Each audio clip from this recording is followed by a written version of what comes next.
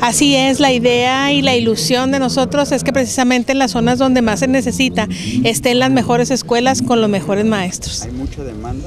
Sí, definitivamente, fíjate que esta es una zona interesante cuyo crecimiento es fluctuante. Tenemos años donde hay mucha población y años donde se han retirado bastante.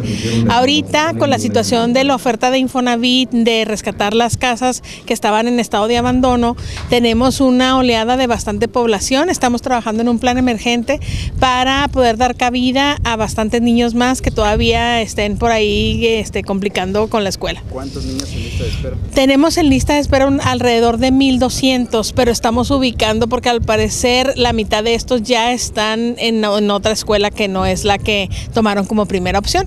De todos modos, como sabemos que las familias al rescatar estas casas van a permanecer ya aquí, pues estamos trabajando en un plan, como ya lo comenté, para poderles dar cabida a todos los niños que viven en esta zona. ¿Cuántas escuelas hacen falta en este sector? Mira, el año pasado hicimos un estudio y no es tanto que nos hicieran falta escuelas completas, sino más bien este, pensamos en integrar 70 aulas. De esas 70, este, más o menos vamos a, estamos trabajando ya en la inauguración de unos 20 preescolares. Las otras 50 serían en primarias. Y pues yo creo que sí necesitaríamos para esta área por lo menos otra primaria igual de grande que la Federico de la Vega y este, una secundaria más. ¿Cuánto es lo que se tendría que invertir? Híjole, pues son este, una inversión fuertecita, más o menos estamos hablando de unos 70 millones de pesos.